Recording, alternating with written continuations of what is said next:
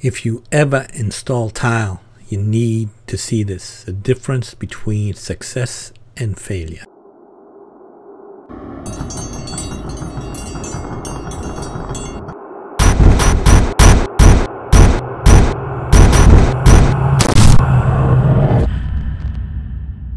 So, does keying in your substrate really make a difference? So, what's keying is? Well, you get the back side of the trowel if you're going over plywood, if you're going over Kerdi board, if you're going over Durock or cement board or whatever it is you're going over, is flat siding the back with the back of the trowel to push the mortar into the substrate really going to make a difference uh, on bond strength. So I'm going to do a little test and we're going to, I'm going to show you what the difference actually is when you key in the, um, the substrate before you spread your thin set, before you notch it out, and if you don't key in the substrate. So one side is going to be, I'm going to key it in with the thin set, just with a flat side, and the other side I'm just going to leave the raw substrate and, and, and and do the test that way. And then the next day, we're gonna take those those apart and see which one actually held better. So this is very important. If you before when you always should always key in your substrate when you're spreading your thin set so you get a superior bond. And, and this is actually gonna gonna show you what that difference is.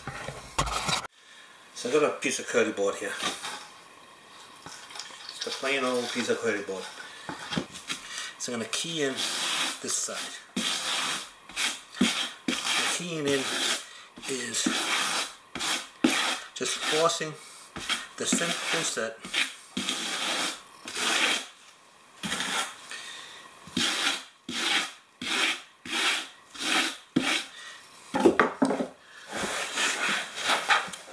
So this side is keyed in and this side is just left alone. What I'm going to do is I'm going to get a blow off a thin set and just drop it on. And then to do the same thing over here. Just drop it on. I'm going to let those set. I'm not going to touch them. I'm not going to do anything to them. I'm just going to leave them like this until tomorrow.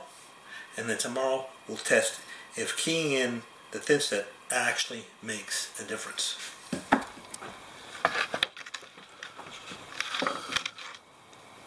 Okay, so this is the one that I keyed in and this is the one that I didn't key in. Now let's see how hard it is to get this off as compared to this one.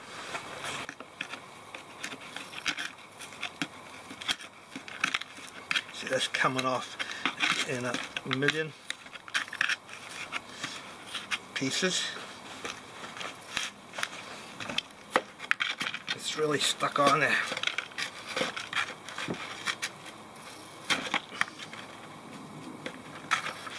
And let's try this one now. See how this one comes off. See that? This one here, I can't, it's coming off like it's still the next day, so it's still pretty soft. So that's why it's crumbling up like that. But it's stuck on there. It's really stuck on there. But this one here just popped right off. Okay, so why does that happen? Well, when you key in your substrate, what you're doing is you're forcing the thin set into all the little cracks and crevices of the substrate, whether it be Kerdi board or a plywood or a cement board or whatever. So you're forcing the, the, the thin set, the mortar, into that, that surface so it penetrates into the substrate that you're going to uh, install your tile on. So you're pushing with the flat side of the trowel, you're mechanically pushing the thin set into that, that area. And then the crystals can grow and, and expand and penetrate deeper and deeper into the substrate to get a really good bond.